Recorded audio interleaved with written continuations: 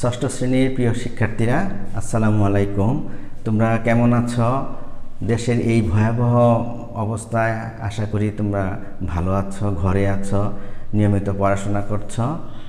তো আমরা অনলাইন ভিত্তিক ক্লাস শুরু করেছি, তোমরা এগুলো ফলো করবে, তাহলে তোমাদের আরও উপকার উপকার হবে। আমি আজকে তোমাদের বিজ্ঞান বইয়ের চতুর্থ অধ্যায়, উদ্ভিদের বাহ্যিক বৈশিষ্ট্য নিয়ে আলোচনা করব। তোমরা পূর্বের ক্লাসে উদ্ভিদের শ্রেণীকরণ, নামকরণ এগুলা কিন্তু তোমরা পড়েছ। আমরা যেটা জানি যে উদ্ভিদ সাধারণত দুই প্রকার, উন্নত উদ্ভিদ যেগুলো, একটা নগ্নবীজি আর একটা আবৃত আবৃতবীজি তো আবৃত আবৃতবীজি উদ্ভিদকে আমরা আদর্শ উদ্ভিদ হিসাবে ধরে সেই উদ্ভিদের কি কি অংশ থাকে এবং সেগুলোর কি কাজ সেগুলো আমরা আজকে জানব। প্রধান প্রধান কাজগুলা। তাহলে একটা সপুষ্পক উদ্ভিদের কোন কোন অংশ থাকে সেটা আমরা জানতে পারব আজকে। আর তোমরা আশেপাশে তাকালে দেখতে পারবে অনেক উদ্ভিদ আছে। মূল, কাণ্ড, পাতা, ফুল, ফল তোমরা এগুলো দেখতে পারো উদ্ভিদের।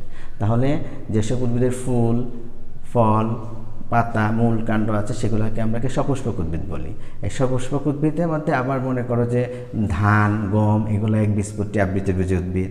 আবার আম, কাঁঠাল এগুলো দ্বিবীজপত্রী আবৃতবীজী উদ্ভিদ তো আবৃতবীজী সপুষ্পক উদ্ভিদের আদর্শ উদ্ভিদ হিসাবেই বলা হয়। সেই হিসাবে আমরা মনে করো একটা উদ্ভিদ যদি নিয়ে এসে তোমাদেরকে দেখাই, তাহলে তোমরা ভালো দেখতে পারবে। তবে সবচেয়ে ভালো হয় একটা মরিচ গাছ এনে দেখাতে পারলে সেখানে কিন্তু ফুল মরিচ একটা ফল এগুলো সরাসরি দেখা যায়। তো এটা জোগাড় করা সম্ভব হয়নি। আমরা অন্য একটা উদ্ভিদ নিয়ে এসেছি তোমাদের জন্য। সেটা আগাছা উদ্ভিদ। কিন্তু সেখানেও তোমার ফুল আছে গাছটা দেখে তোমরা সেটাও বুঝতে পারবা। দেখো, এটা একটা আমরা সপুষ্পক উদ্ভিদ বলব। কারণ এখানে ফুল, ফল ফল হয়, এটা সপুষ্পক উদ্ভিদ তো প্রথমে আমরা যেটা জানব যে বিটপ কাকে বলে? বিটপ। বিটপ হচ্ছে যে উদ্ভিদের যে অংশগুলা মাটির উপরে থাকে, এটা তো মূল। মূল তো নিচেই থাকে। তাহলে মাটির উপরে যে অংশগুলো থাকে, সবগুলোকে আমরা একসাথে বিটপ বলব। তো মাটির উপরে কি থাকে? কাণ্ড, পাতা, ফুল, আবার ফল সবগুলাই থাকে। সবগুলাকে আমরা একত্রে বলব বিটপ তারপরে কাণ্ডের ভিতরে থাকে আবার পর্ব। পর্ব, এই যে খাস কাটা খাস কাটা অংশ কাটা কাটা অংশগুলোকে পর্ব। যেমন তোমরা আখ খেয়েছ, তারপরে তোমরা বাঁশ গাছ দেখেছ পাট পাট করা। তো এগুলো হচ্ছে পর্ব। আর একটা পর্ব থেকে আরেকটা পর্বের মাঝখানে যেটা হচ্ছে পর্ব মধ্য। ফুলগুলা থাকে কোথায়? পাতার কক্ষে। পাতার কক্ষ কোনটা দেখো? এই যে কাণ্ড কাণ্ড থেকে যে পাতা বের হয়েছে, তার কোনাটা কোনাটা থেকে ফুল বের হয়েছে। এখানে কিন্তু ফুলগুলা থাকে সব গাছেরই, মরিচ গাছেরও তাই থাকে। আবার ফুলের মধ্যে থাকে বৃত্তি, দল, পুংকেশর, স্ত্রীকেশর, এগুলো তোমরা আর উপরের ক্লাসে জানতে পারবে, সেটা ফুলের মধ্যে থাকে। এবার আসো কাণ্ড। তাহলে প্রধান মূল যেটা, একটা গাছের কিন্তু প্রধান মূল থাকে, দেখছ? এটা হলো প্রধান মূল, আর এগুলো শাখা মূল। যে প্রধান মূলের সাথে লাগানো মাটির উপরের যে অংশটা যে খাড়া অংশটা এটাকে আমরা বলব কাণ্ড। তো কাণ্ডের মধ্যে কি থাকে? পর্ব থাকে পর্ব মধ্যে থাকে আগে বলেছি কাণ্ড কি করে? কাণ্ডের কাজ আছে। কাণ্ড কী করে? এই গাছের পাতার ভার বহন করে, এই যে শাখাগুলা, ডালপালা আরও বড় বড় গাছ তোমরা দেখবে, সেগুলো ডালপালা, এগুলো কিন্তু সব মূল গাছ থেকে বের হয়। সেগুলো কিন্তু বহন করে এই কাণ্ড। তাহলে কাণ্ডের কাজ হচ্ছে এটা। তারপর আসব আমরা পাতা। পাতা কাকে বলে? পাতা কি? শাখা পোশাখা থেকে সবুজ যে চ্যাপটা অংশগুলো বের হয়, এগুলো কিন্তু পাতা। পাতার একটা সংজ্ঞা আছে। সব গাছে কিন্তু এরকম পাতা আছে। যে শাখা পোশাখাগুলো থেকে কিন্তু পাতা বের হয়। তাহলে পাতার কি কাজ? পাতা হচ্ছে খাদ্য তৈরি করে। পাতার মূল কাজ হচ্ছে কি? খাদ্য তৈরি করা। তারপরে আমরা আসব ফুল। ফুল কোথায় হয়? ওই যে আগেই বলছি পত্র কক্ষে তোমার কি? ছোট ছোট ফুল হয় এরকম। এই অনেকগুলো ফুল হয়ে গেছে আরও ছিল আরও ফুলগুলো আস্তে আস্তে দেখো ফুলগুলো আস্তে আস্তে কি শুকায় গেছে শুকায় গেছে, আস্তে আস্তে এখানে ফল হবে, বিচি হবে, যাই হোক। এগুলো হচ্ছে তোমার কি? তাহলে ফুল গেল।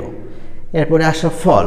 ফুল যখন বুড়ো হয়ে যায়, অর্থাৎ শুকায় যায়, এই যে এখানে দেখো ফুলগুলো শুকায় পড়ে গেছে, তাহলে ফুলের যে নিচের অংশটা ঝরে পড়ে যায়, ফুলের যে অংশটা থাকে নিচে, সেটা বড় হয়ে আস্তে আস্তে ফল হয়। আর ফুলের যে গর্ভাশয়টা, সেটাই কি? ফলে পরিণত হয়। তাহলে আমরা মরিচ গাছের ক্ষেত্রে মরিচকেই বলব কি ফল? এখানে এটা আগাছা গাছ এটাকে আমরা ফল এখানে দেখাতে পারি নাই। কিন্তু তোমরা যখন ভবিষ্যতে আমরা ক্লাস করব, সেখানে আমরা গাছ সরাসরি নিয়ে এসে তোমাদের হাতে দেখাতে পারব। তোমরা দেখতে পারবে। আর বইয়ে দেখবে তোমাদের একটা ছবি আছে, সেখানে কিন্তু সুন্দর করে সবগুলো বর্ণনা দিয়েছে। এরপরে আসো মূল। মূল কোনটা? মূল আমরা কাকে বলব? দেখো, উদ্ভিদের পর্ব পর্ব মধ্য, পর্ব পর্ব মধ্য ও অগ্রমুকুলবিহীন অংশকে আমরা মূল বলব। অর্থাৎ অনেকেই মনে করে মাটির নিচে থাকলেই মূল হয়, তা কিন্তু না। মাটির নিচে থাকলে মূল হবে না। আদা, পেঁয়াজ, এগুলো কিন্তু মাটির নিচে থাকে। এগুলো কিন্তু আমরা মূল বলব না। তো এগুলো যে মাটির নিচে থাকে, এগুলোকে মূল বলব না, এগুলোকে কি বলব, এগুলো নিয়ে কিন্তু আমরা উপরে ক্লাসে ক্লাস সেভেন এটা আমরা এগুলো বিস্তারিত জানতে পারব। তাহলে মূলের সঙ্গে আমরা এটাই দিব যে উদ্ভিদের পর্ব পর্ব মধ্যহীন এবং অগ্র মুকুলবিহীন অংশ হচ্ছে মূল। আচ্ছা দেখো, এবার আমরা এই অধ্যায় পড়ার পরে আমরা যে জিনিসগুলো তোমরা কি করবে? বিটক কি? এটা পড়তে হবে, তোমাদের এখানে পেয়ে যাবা। কাণ্ড, পাতা কাকে বলে? সংজ্ঞা মামা, এদের কাজগুলা কি বলে দিচ্ছি? মূল কাকে বলে? বললাম, এগুলো সব ছোটো ছোটো প্রশ্ন। তারপরে বড় প্রশ্ন কোনটা? যোগ্যতা ভিত্তিক প্রশ্ন যদি আসে তোমাদের এরকম, যে একটা গাছের ছবি এঁকে দিল, সেখানে বলবে যে বিভিন্ন অংশগুলো চিহ্নিত করো এবং সেগুলো বর্ণনা করো। সেই হিসাবে আমি এটা দিয়েছি যে একটি আদর্শ সপুষ্পক উদ্ভিদের বিভিন্ন অংশ চিহ্নিত করে বর্ণনা করো। কারণ যখন তোমাদের ছবি দিবে, সেখানে কিন্তু ফুল, পাতা সব কিছু দিয়ে দিবে, তোমরা সেগুলো চিহ্নিত করবে এবং সেগুলো কি, যে জিনিসগুলো আমি তোমাদেরকে এখন বললাম, ওগুলাই তোমরা বর্ণনা করে দিলে তখন তোমাদের সেই যোগ্যতা ভিত্তিক প্রশ্নটা হয়ে যাবে। তো তোমরা আজকে বুঝতে পেরেছ এই অংশটুকু। আমরা ধারাবাহিকভাবে সামনে আবার বোঝাবো বাকি অংশটুকু। তো তোমরা বাসায় পড়াশোনা করো, ভালো থাকবে আর নিয়মিত পড়াশোনা করবে, খাওয়ার আগে, খাওয়ার পরে ভালো করে হাত ধুবে, বাসায় থাকবে। ভালো থাকো, আল্লাহ হাফেজ, আসসালামু আলাইকুম।